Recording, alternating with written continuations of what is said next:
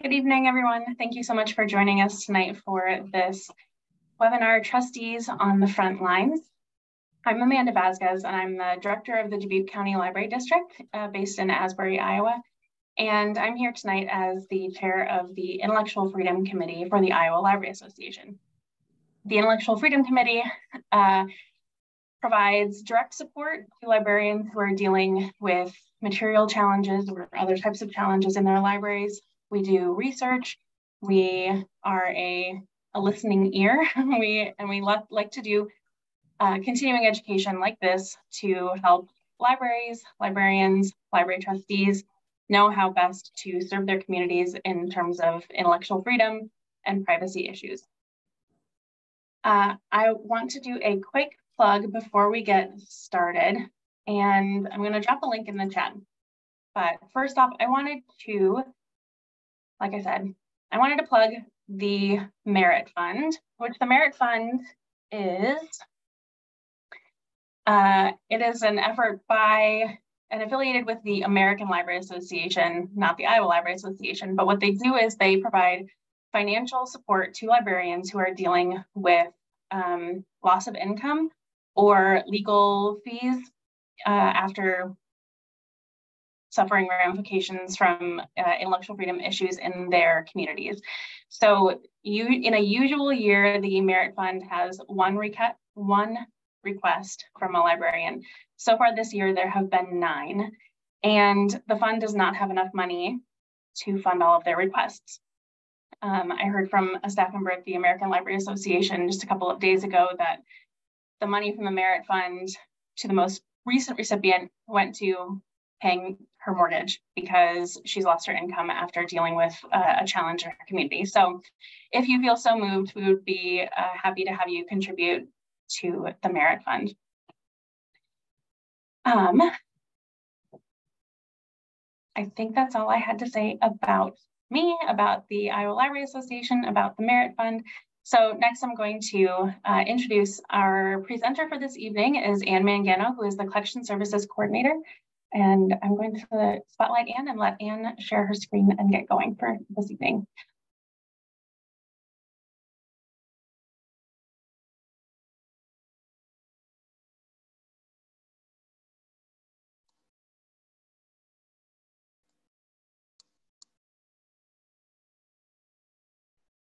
Okay, does that look good? Perfect. Thank you. Thank you, Amanda. I'm so happy to be here to discuss this very important topic with all of you. Thank you to ILA and the Intellectual Freedom Committee for having me. And um, I also just want to thank Robin Petzold, who's a member of the Iowa City Board of Trustees. She pushed me to do this presentation in October at the ILA conference. And it's just a privilege to be able to have a colleague that supports the work that you do. So as Amanda said, I'm Anne Mangano. I am the Collection Services Coordinator at the Iowa City Public Library. What that means is I oversee technical services and collection development in uh, at the library. Just to reorient ourselves about the Iowa City Public Library, we have about 260,000 items in our collection, which we purchase about 32,000 items per year, so we're bringing in a lot of materials.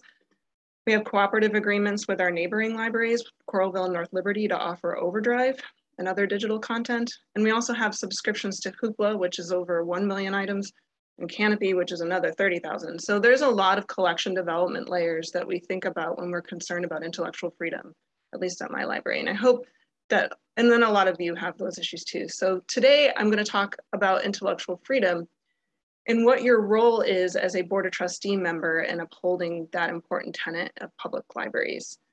We want you to be ready if an intellectual freedom challenge occurs at your library because these situations can feel incredibly quick and they're chaotic and they can be very difficult. And when you're weighing the value of a book or a program and how that might specifically meet your policies, feels like it should take some time and consideration, that thoughtful approach. But because these situations can feel like there's a great deal of pressure to do something right now, it's just best to be ready. So hopefully we have some tips for you to feel prepared. So today we'll talk about what is intellectual freedom, why it's important, ways a challenge can manifest itself. It's not just a book ban. And as a board member, what is your role? Understanding your role and ways to be prepared can go a long way to ensure best practices are followed and your library speaks to its value as a public service and keeps its institutional integrity intact. So this presentation is geared to uh, Board Trustee members, specifically those on an administrative or governance board in the state of Iowa. If you're from a board that's an advisory board, welcome, there's two in the state. And there's some good information here that about ways you can advocate to make sure an important value of our institution is upheld. If you're from out of state, um, I thank you for coming. I recommend uh, just touching base with your state library to make sure that this, these things apply to you. And if you're a library staff person, also welcome. Hopefully this information will be helpful in preparing and training your board. So let's just start with some basic concepts. What is intellectual freedom? We can throw that term around a lot. So public libraries hold up an important democratic value, which we call intellectual freedom. And what it comes down to is just as an American, you have the right to seek and receive information without restriction. It's your freedom to read and explore and engage with ideas. This right is guaranteed by the First Amendment of the Constitution of the United States. And what it boils down to is if someone speaks, someone has to be there to listen. So if someone's writing, someone has to be there to read. The State Library of Iowa's trustee handbook states that you, your role on the library board is to protect and defend intellectual freedom. That's the quote protect and defend intellectual freedom. Another way to look at it is a, it's just opposition to censorship. At a professional level, as a librarian, uh, your staff in your libraries that you govern subscribe to an, a code of ethics through the American Library Association. They subscribe to the Library Bill of Rights and the freedom to read and freedom to view statements. We look at these when we're creating our policies, making sure that we uphold those things when in our practices. Overall, these statements say that libraries should offer a diverse collection, provide others, and provide other services that meet the needs of the community we serve, the people in it, their interests, that can mean different formats, different age groups, different religious, political, social and economic viewpoints on important issues of our time.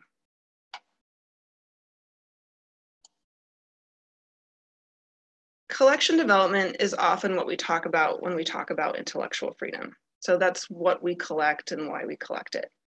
But really, the more overarching issue is access. Making resources accessible to our patrons includes the collection, but it can also include the internet access, the computers you have at your library, include databases, so the online resources you offer can be the programs that you put on in the library or the displays you put up. It can also mean just providing meeting room spaces for your community to meet. And then if you offer a bulletin board to for your community members to place thing to place bulletins or posters on, that can also be an intellectual freedom thing. It can also go into who can get a library card at your library and what they can check out, what they can access in your collection. Are there restrictions on digital resources? All of those things are really what we talk about when we talk about access. Another important aspect of intellectual freedom is privacy. In order for people to seek and receive information freely, they have to be able to do so without scrutiny. Iowa Code considers library patron records confidential and that's specifically in chapter 22.7. That means the information sought, so that's the reference question you um, your staff, oh, sorry, excuse me. Information that they sought uh, or the book checked out, if you're tying that to personally identifiable information, such as the name, address, or phone number, that's all confidential. And it should only be released to a justice agency through a subpoena. And there are very specific benchmarks needed for that subpoena to be granted and that's in that Iowa, that Iowa Code chapter 22.7. So that's why we work hard as librarians to try to collect only the information we need from patrons and then get rid of that information or delete it when we no longer need it. Now we'll move on. Why is intellectual freedom important? Uh, intellectual freedom is a cornerstone of having an informed citizenry. That's why we have public schools. That's why we have public libraries. The state libraries trustee handbook states that, quote, if people are restricted from obtaining information from all points of view, their ability to be informed citizens is diminished, and thus they cannot exercise self-government, end quote. Those are pretty lofty as aspirations, but if I have to be more practical with you to, to get you on board on intellectual freedom, the United States Supreme Court has upheld several cases protecting intellectual freedom, describing it as well established. There's a great overview in a book called Protecting Intellectual Freedom in Libraries by Sharon Altman, who goes into these cases in detail. So if you um, would like more information about that, I re recommend that book. I, we will be sending out a list of, and of all the things that I reference in this collection. So don't worry about writing that book down. We'll get you a list. And then if we can get even more lofty, I want to point out that as Iowans, we should be incredibly proud of our intellectual freedom heritage. I mentioned that as a professional librarian, I subscribe to a professional code, which is the Library Bill of Rights. In 1938, the director of the Des Moines Public Library, Forrest Spaulding, first presented the idea for a Library Bill of Rights to his Board of Trustees. So he was very worried about censorship issues as well as the rise of authoritarianism abroad and wanted to guarantee specific rights to the patrons of the Des Moines Public Library. It was adopted by the board. He was a director during World War I, and in, during World War I, libraries took books off the shelf, whether that shelves all the time, like if they were German books, books in German, or um, books about socialism, labor issues. Uh, he they removed things based on what the U.S. government told them to do that, and he didn't want to repeat that for going into World War II. I recommend a book called American Midnight that get that just came out that gets into um, what was happening during, during World War One and gives some context to Forrest Spaulding's uh, board, um, Library Bill of Rights. And a year later, after he the board accepts it, at, in 1939, a fellow librarian presented Spaulding's document at the ALA's national meeting, and it was adopted as the tenets of librarianship. This is taught throughout the country to aspiring librarians and library workers uh, from Iowa to California to Massachusetts. It states that librarians should maintain a diverse collection that meets the needs of the communities they serve. And materials should not be removed because, just because someone disagrees with them. That we should challenge censorship as librarians. That we work to ensure free expression and free access to ideas that everyone should be able to use the public library. Everyone should have the right to use meeting room spaces or display spaces. And privacy and confidentiality need to be protected in library use. Those are the main tenets of our profession. They started right here in Iowa, and it's our calling to uphold that legacy. That leads me to what you might face in upholding an intellectual freedom issue. And before I do, I think it's really important to say something. Challenges to intellectual freedom can come from groups or individuals from any part of the political spectrum and on a variety of issues. Our society is incredibly complex. Our society is very diverse and people feel passionately about the issues that are important to them. And those passions can be opposing even a specific community. I have to say that because I'm a librarian in Iowa City. My issues with my community of what, what books are in my collection are gonna be very different than somebody else's in Iowa coming from a more a community that's considered more liberal. We do get questions about our collection. So the one we hear most about, which I just referenced, are book challenges. An unprecedented number of book challenges happened last year in both schools and libraries throughout the country. In 2021, which is the most recent statistics, the American Library Association documented 729 challenges to almost 1,600 book titles, some of those challenges were just a list of 500 books. I believe there's a library in Idaho that had just a list that someone brought to the board that was 500 titles. So that's why there's less, there's more book titles than actual challenges. So it can be um, overwhelming. a book challenge is an attempt to remove or restrict access to items in the collection based upon the objections of an individual or group. One statistic that I thought was really important from the ALA report that I want to share with you is that 18% of book challenges were initiated by board members or by a school or library's administration. So you may actually encounter a challenge from one of your colleagues. But there are lots of other types of challenges in the library. Uh, Programming is a big one. This is an attempt to stop or restrict a specific program that's held by or sponsored by the library. An example really prevalent in the news is Drag Queen Storytime. Meeting, rooms, meeting room use challenge. If your library provides space that community organizations or members of the public can book to hold meetings, meeting room challenges may arise if someone is upset that a specific group is using your rooms. An example in Forrest Spaulding's time was the Communist Party of the United States.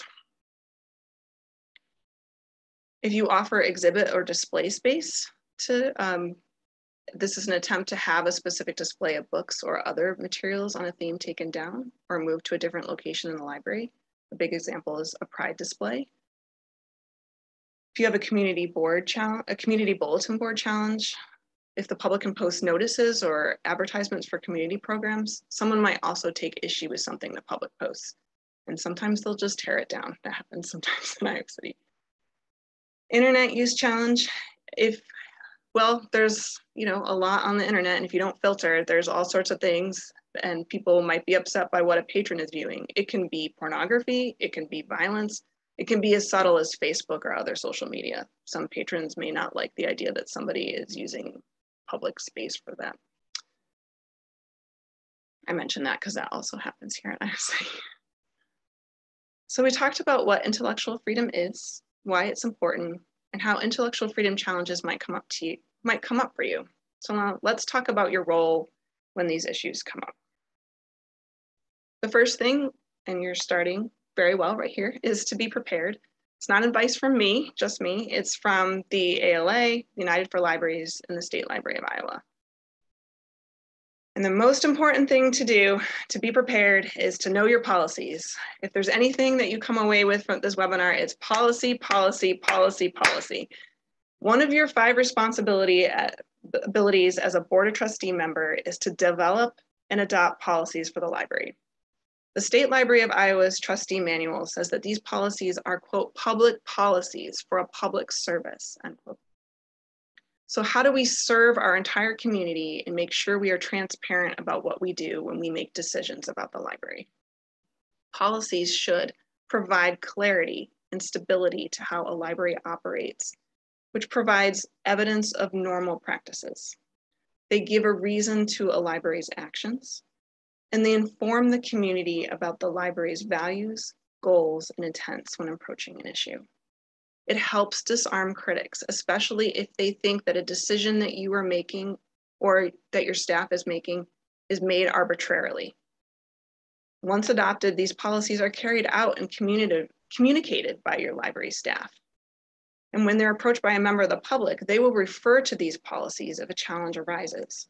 So here's where we're gonna set them up for success if you you say what you're going to do and you're going to do what you're going to say and it's going to say it in the policy. One policy that every library must have to meet public library accreditation standards is the collection development policy. A collection development policy covers the criteria that the staff is using to select and purchase materials, so what we're including in the collection and what we're not, how these materials are managed, especially when, we, when they're weeded from the collection or withdrawn, and how do you handle questions or complaints about an item in the collection? So first, a complaint or a question isn't a bad thing in and of itself. My colleague and ILA president, Sam Helmick, reminds me all the time that petitioning your government, including a public library, is a right and a privilege of Americans. And so I just also mentioned the weeding policy. The staff of the library are always reconsidering an item in the collection. Is the information out of date? Is it being used? Is it in poor condition?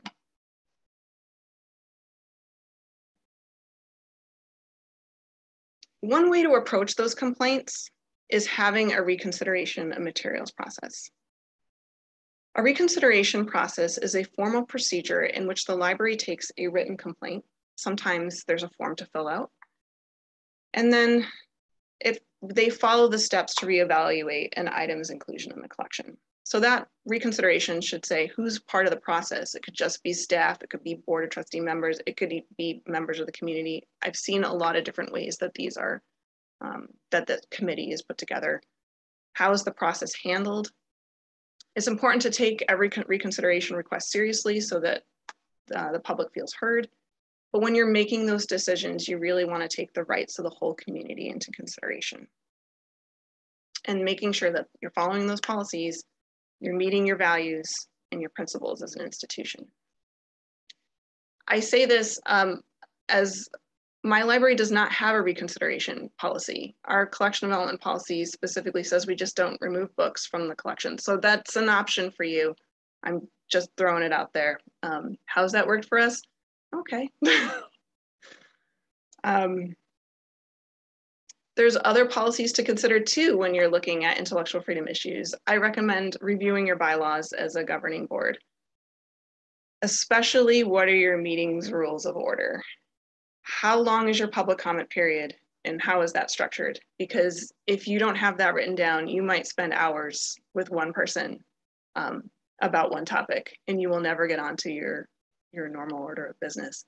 You wanna just make sure that you're able to say, you have five minutes to talk about this thing and then the five minutes are over. And then you have to enforce it. That's the other thing. If it's the policy, it needs to be enforced.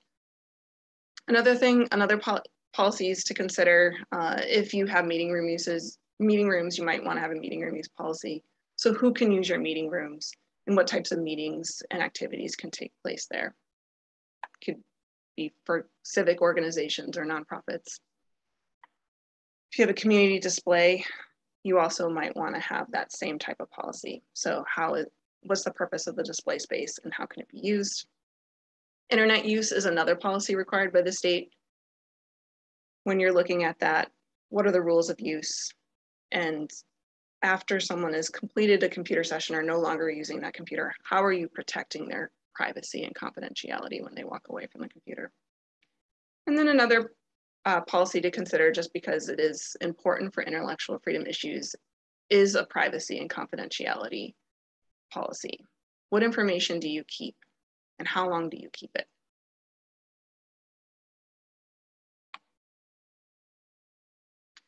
Another aspect of preparation is being actively engaged with intellectual freedom issues. So uh, following intellectual freedom issues in public and school libraries across the state and throughout the country I another a big kind of a big picture one is just following the bills that are going through the Iowa State Legislature. So the ILA's bill tracker on their website is a great resource for that. The ALA's Office of Intellectual Freedom highlights a number of cases and they put out a report every banned books week that gives an overview of what has happened throughout the country.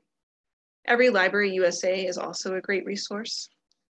And then it's in the news, so different news outlets are following these stories too. You're already doing this one, you're participating in, in training, so participate in further training. The United for Libraries website has some great webinars and training guides. State Library has courses as well.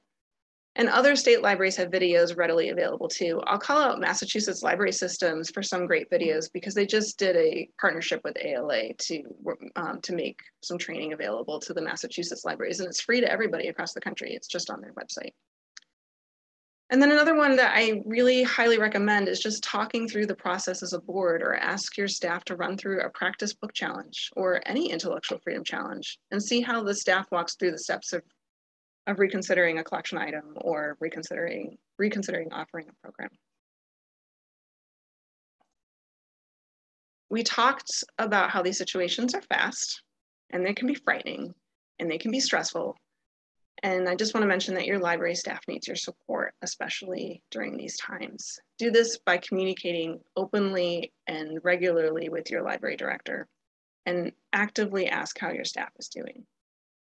But my most important advice that I want to give is you need to trust your captain and you need to trust your crew. Follow your policies, stick to the role that you've given yourself in these issues. Do not take on evaluating the merits of a book on your own. If you do this, you walked away from your policies. You've walked away from the standards that you've had in place and your library's integrity could suffer. Which brings me to my next point, you want to choose a spokesperson. If you are in a very public, heated challenge, you want the library to speak as one. That spokesperson can be the director, can be the board president, and they can handle media requests for comments and they can stand message. What you don't want is just a variety of voices saying totally different things within the same board.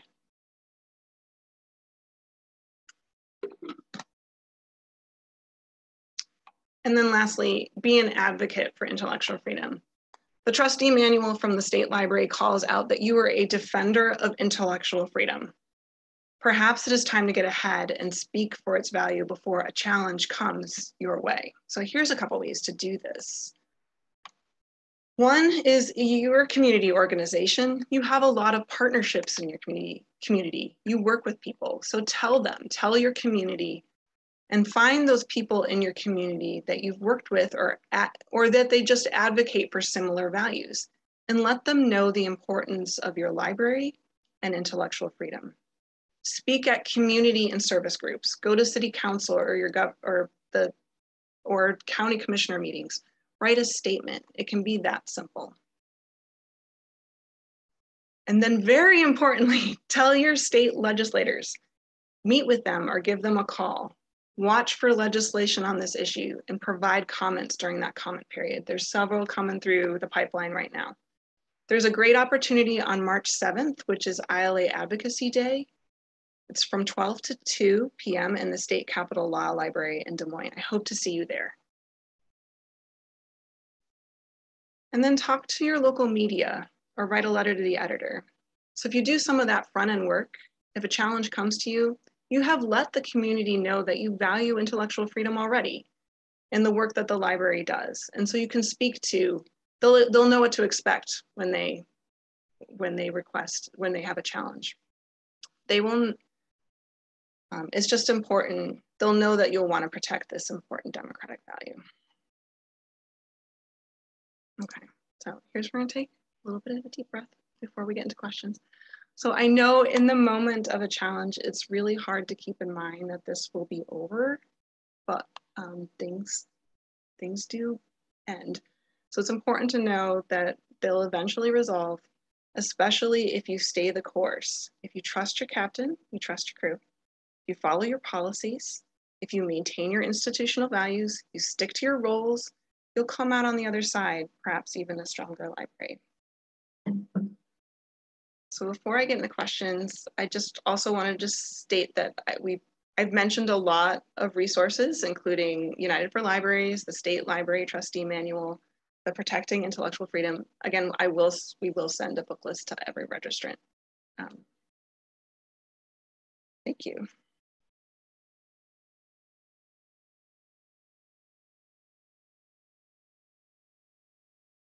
Thank you, Anne. That was a really great overview of intellectual freedom for all of our trustees.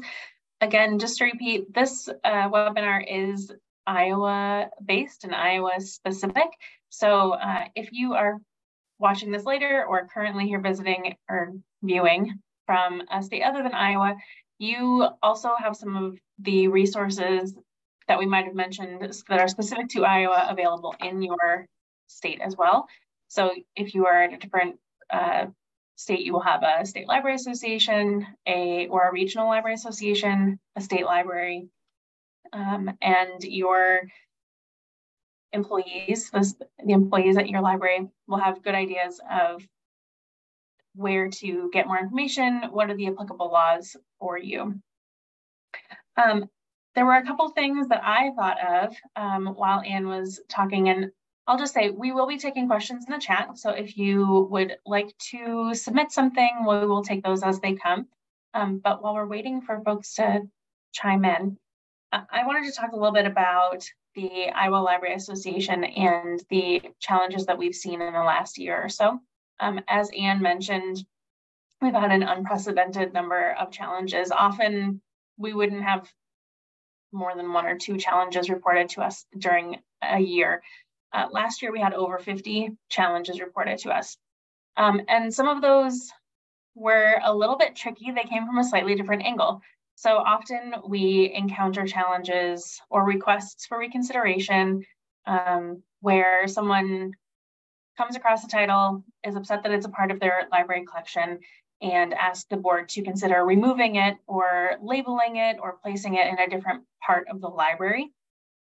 Um, but we've also seen an uptick in challenges where uh, an individual re will request that an item be added to the collection. And um, when staff after their own vetting and decision making decide not to include that material for whatever reason, then that is the, the decision that is brought to the board for reconsideration. So um, we've helped, Iowa Library Association has helped at least two libraries deal with that specific situation where a periodical was uh, requested and not added on the advice of staff, um, but there was a request for reconsideration of that decision. Um, I'm seeing a couple of questions in the chat. Is it okay for a library board to get together privately to prepare for a challenge? Would this be a violation of open meetings laws? I am not a lawyer. I am not a part of the public information board. My understanding is um, that so long as you are not uh, engaging in library business, you should be okay. However, I would not recommend it. Um, if you're going to have these conversations, uh, opportunities like this uh, are a great way to do that. Um, you can incorporate discussions about continuing education, uh, things like this webinar or articles that you've read into your um, into your public meetings. Uh, you can have non-quorum meetings, of course, if you know two or three of you were to get together, depending on the size of your board, of course. Um, I would I would caution against getting together without publishing, um, even if you think it will be okay. um, I tend to err on the side of caution when it comes to open meetings laws, because if you were to have a conversation where you talk about how you you don't really believe that any book should ever be removed from a library collection, and then a challenge comes before you and the discussion bears that out, it could be seen as you having like before the issue even came up, um, having a, a conversation about it and making a decision outside of a public meeting in advance. And that would not go well for you. Uh, so there's very, very specific criteria to be able to go in a closed session. So I don't know if that would meet the criteria. I don't think it would meet the criteria to go into a closed session.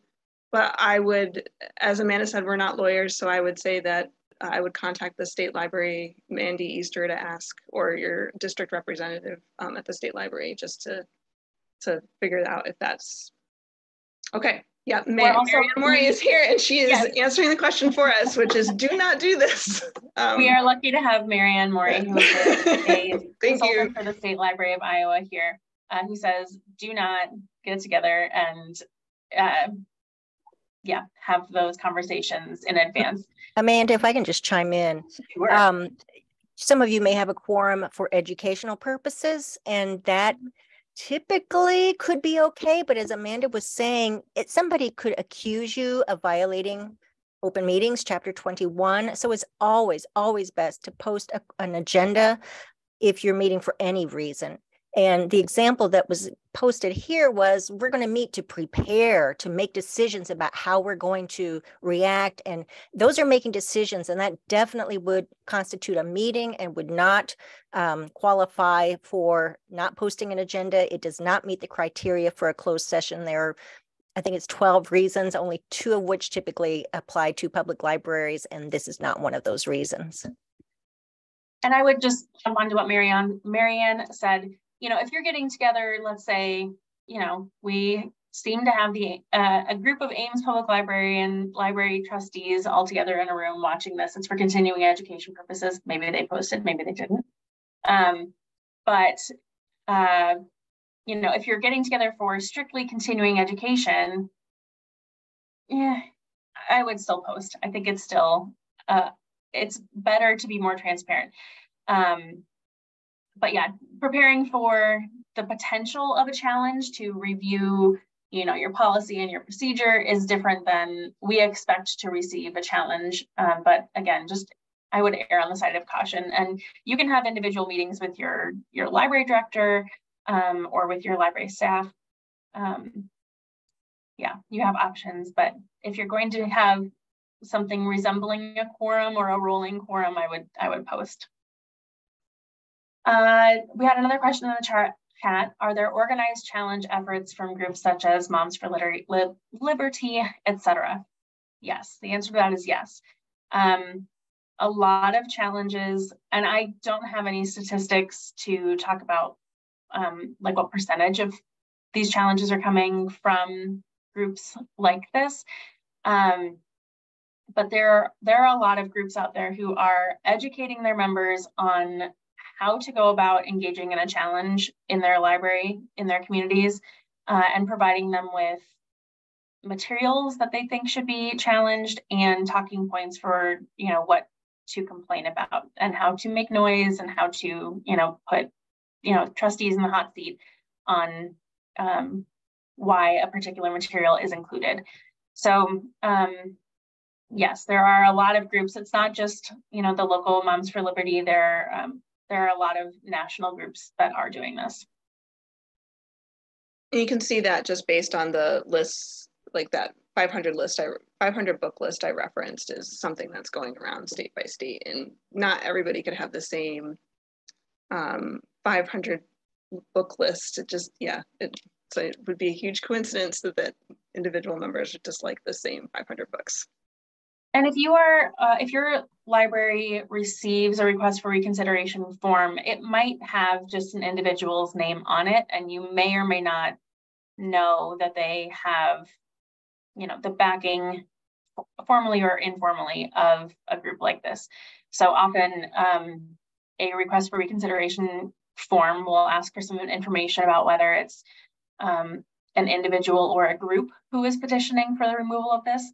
Um, one thing we've also seen a lot of recently is um, either individuals challenging a huge number of items, as Anne said, or a large number of individuals challenging a particular title. So there was a library in Iowa last year that received 17 identical challenges from different members of their community, all for the same title.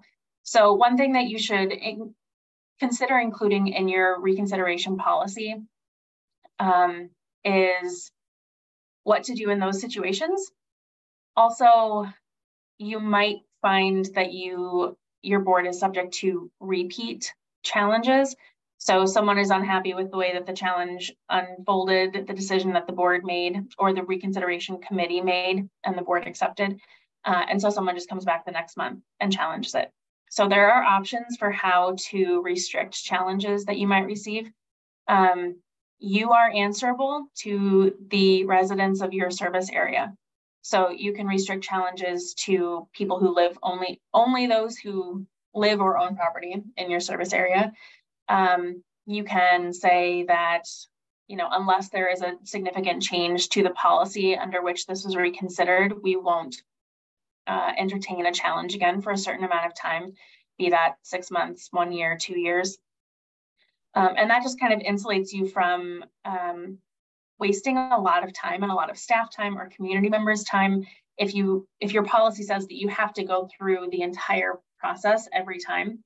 Um, so I would encourage you to find some restrictions that you can put into your policy just to, to protect your the, the load on your staff. Um, one other thing, uh, Anne was talking about public comment in your meetings, and I just wanted to remind uh, trustees that you are allowed to amend your um, public comment rules at any meeting.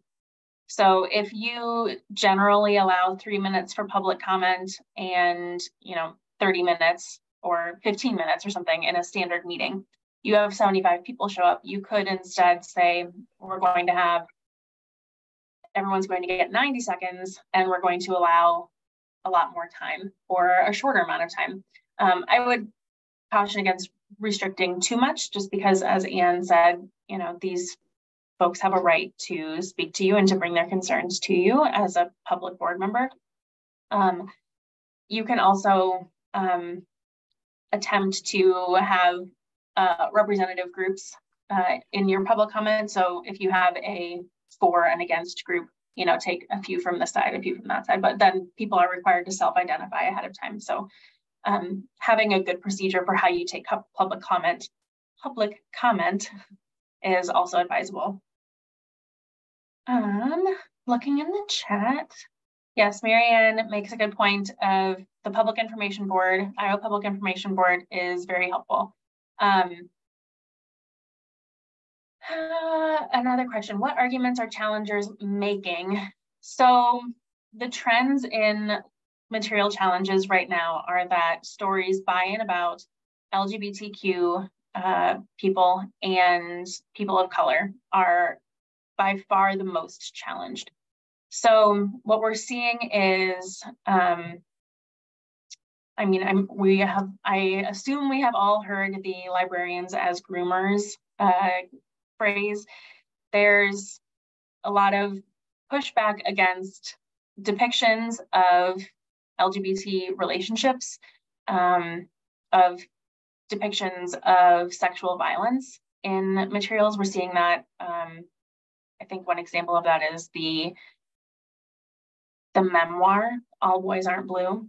Um, I personally take a lot of offense at um, trying to restrict individual stories. Not that any story should be restricted, obviously, but um, especially when it's an individual telling their true life story and people saying that it's inappropriate for children, teens, whoever, to read and learn about that when that's the real lived life experience of someone who was that age. I just find that incredibly frustrating personally. Um, also, just concerns about normalizing uh, LGBT existence and um, the idea that you know children's brains are very flexible and they learn all kinds of things and they might learn to be gay which is seen to be a negative by some people. Um, so there are also there are a lot of other reasons why people challenge things. Um, a colleague of mine um, in another state was dealing with a challenge from a staff member because they felt that the depictions um, of a, a, certain people group in a certain book was inaccurate. Um, and so they were dealing with um, how to balance accurate accuracy of information from one person's perspective against the entire collection. Um, so there, there are all kinds of reasons why people challenge, but primarily um, they have to do with LGBT uh, and BIPOC uh, stories and authors. If a challenger does not reside in our library district, do they have standing to make a challenge and is the board obligated to respond to such a challenge? This is where your policy is going to be really, really, uh, really important. And I think that it is important to run a restriction on this type of thing past your uh, local uh, legal expert. So I would suggest saying, you know, we do not take reconsideration requests from people who live outside of our service area who are not the people who are part of our community who we serve. Um, but you know, that is complicated in some ways by the fact that we have reciprocal borrowing in Iowa through the open access program. Um, or maybe someone, you know, lives in one area, but they buy a full service card. So there, there are a lot of intricacies there that would need to be worked out. Um, I think that if your policy does not restrict those challenges, then you really should entertain them, uh, which is just a good reason to restrict them. Yeah, it's a good One time to look at the policies. One other suggestion that I really want to make and that I try to make in all of my intellectual freedom presentations is um, your library board, your library director should have a relationship of some sort with an outside legal expert who deals in intellectual freedom issues. Um, all of us library directors are um, very used to hearing, you should check with your city attorney. You should check with your county attorney. And the vast majority of the time, that is going to be the right answer. But I would say no attorney is an expert in everything. Um, also, should it come down to you know your city council versus the library, your your city attorney answers to your city council. They don't answer to you. And they probably have a much better working relationship with the city council and your local police than they do with you. And I'm not trying to make it sound like, you know, your lawyer, your city attorney isn't going to do their best. Um, but there are excellent First Amendment attorneys out there. Um, you can have them consult for a single hour on a policy that your library has. Um, and then you are their client. And um, I just highly recommend and having someone outside of your city structure. Um, as someone who dealt with this with a city who was unsupportive during a challenge personally, um, having backup outside of the city structure, even if it's just someone who's going to confirm that your your city attorney is doing the right thing, um, that's really valuable.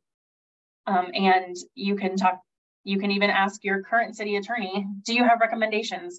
Uh, it doesn't have to be a, I need someone who's not you. It could just be, I need another opinion from someone who has more uh, expertise in this area.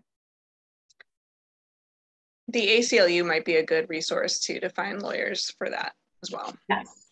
Um, uh, Michael Giudici is a an attorney in Des Moines, and I cannot recall uh, which firm he works for. But when I asked the ACLU of Iowa for a recommendation, that is who they pointed me towards. Um, uh, we have another question regarding displays. To what extent should we consider the demographic makeup of the community? For instance, we have a large Amish community in our area and they are significant users of the library. I think that um, my response to this would be you should have displays and, you know, through not every single display, but through all of your displays, and I hope that that becomes clear, um, that you should be serving members of your, all the members of your community. So you might put up a display that really resonates with one portion of your community uh, and maybe just isn't of interest to another portion of your community. Um, but you should have displays that, you know, over the course of the, the next few months, the next year or so, that you're hitting all the demographics in your area. So you want it to be viewed from an inclusive, uh, you know, are we appealing to everyone as opposed to um, is there anyone who's going to be upset about this? Uh, kind of an exclusive view of doing displays. um, I hope that answers your question.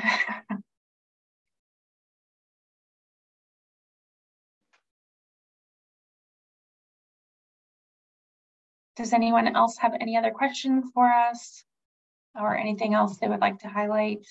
Um,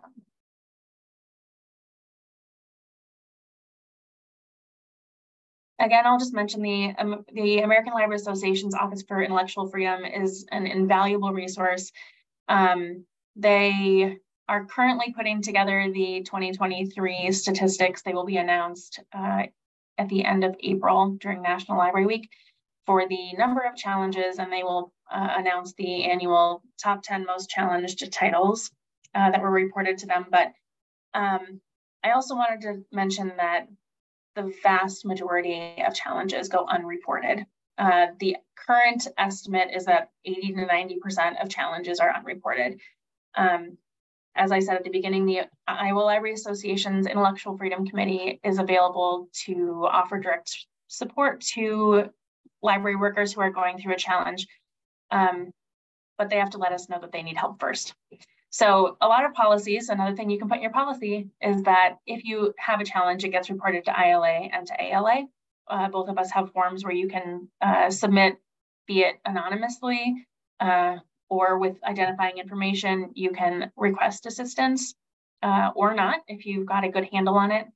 Um, challenges, challenge reports come to us at all different stages. So whether it's um, I can I can see this bubbling in my community and I would like to be prepared. What can I do now? Uh, all the way through to, okay, three months ago, we had a whole bunch of challenges. Uh, we worked our way through them, but for statistical purposes, we're just going to let you know that we handled it. Um, and while often these challenges do, you know, they, they come and they go, sometimes they linger. Sometimes you get a, a patron who is um, who just won't won't let go of the issue for one reason or another. Or a challenge begets other challenges once people realize that challenging challenging materials is an option in your community. Um, they might it you know it might influence other folks to uh, challenge items as well. Um, trying to think if there's anything else I wanted to highlight. and anything else, any last parting comments? No, thank you for having me. There was another question that just about books with factual errors that just came through. And um, one thing I will say is we weed, there's, there's two parts to that. One is that, yeah, we weed things quite a bit when we're looking through to make sure that information is accurate. So if we're talking about health information or travel information, you want to make sure that that info, that the things that you have on your shelf are up to date. That's getting harder now. Um, there's a lot of new publishers out there. Uh, a lot of controversial knowledge and it's starting to be a little bit of a fine line that I don't have a perfect answer for or a good answer for because we're kind of grappling with that too. Do we buy these books when we know that either it's a political issue or even a health issue that may be inaccurate, but it is a it is a belief like and you're trying to serve a specific segment of your community. So I don't have a very good answer for that, but um, that's something you should probably think about when you're policy and kind of think about your community when you're purchasing materials. That's a good point. I know that I've had uh, conversations with uh, just friends of mine. You know, who who is the arbiter of truth? Who gets to determine what truth is uh, and how it's represented? Um, do people have a right to engage with the information that they want, even if that information is flawed in maybe the professional view. Do people have a right to be uninformed? And um, yeah, it's it's a very it's a really difficult line to walk. I would agree with Anne. You know, we try to make sure that our information is as accurate as possible, but there's no way for us to, to guarantee that. There's no way for us to, you know, flag materials. So, you know, when Pluto was deemed no longer a planet, you know, all of a sudden all these publishers put out new books. Well, you can't necessarily afford to replace your whole collection on Pluto. But it's also not our job to go in and, you know, with our little Sharpie and fix content. Uh, so it is, yeah, it can be tricky and it is very situationally dependent. Um, and yes, Lisa makes a good point. It's important to be able to determine the difference between facts and opinion, but uh, again, people have different views of what facts are and what opinions are. Um, I would also just make you all aware, I think that a lot of librarians facing challenges are feeling the, um, the efforts to deprofessionalize uh, the career that we have. So a lot of professional librarians um, have advanced degrees. Um, so not just, you know, 10 or 12 years of on the job training, but a master's degree in library and information science, where you learn about all of these things. Um, but just like in so many other fields, I feel like I see we, we see this a lot in the medical field as well. You know, um, you might have a degree, but I can research too, and and this is the information I've found, and I don't need to trust you because I know better than you, and that can be really frustrating to deal with um, from all kinds of perspectives. Um, but it's it's an extra challenge to um, to argue why we do the things that we do. You know, things like the American Library Association's Library Bill of Rights. There's nothing legally binding about that. Our code of ethics. There's nothing legally binding about that. You might adopt those into your policies and use them as guiding documents, and we use them as as um, professional, you know, guideposts uh, for ourselves and and how we like to perform our professional duties. Um, but yeah, what is the law and what is professional ethics um, and what is our own job knowledge and experience? Those are all different things, but uh, we try, we do the best that we can, I would say. I think um, Marianne Maury coming in clutch again with another comment for us. The ALA Library Bill of Rights has been used by Supreme Court cases uh, potentially up to 30 times, according to her recollection of what our law librarian, Mandy Easter, has said. Um, go Iowa. So, yeah, go Iowa. so uh, last but not least, thank you all again so much for joining us this evening. We really appreciate your commitment to being an effective and well-informed trustee of your community library. Uh, we look forward to seeing you at uh, some events in the future. Uh, if you any of you are in the North Liberty area towards the end of the month of April, Intellectual Freedom Committee is partnering with the ACLU of Iowa to do a National Library Week slash delayed banned books week trivia night. So if you are interested in joining us for that, uh, you can look for some information. But also, if you're in Iowa and you're a trustee, the annual conference happens every year in October. It's going to be in Dubuque this year, so come visit us. Uh, we'll try to have some other great sessions for you. And, uh, you know, maybe go say something nice to your library staff and your library director. Uh, they deserve it, and as do you, of course. So again, thank you. Have a great night.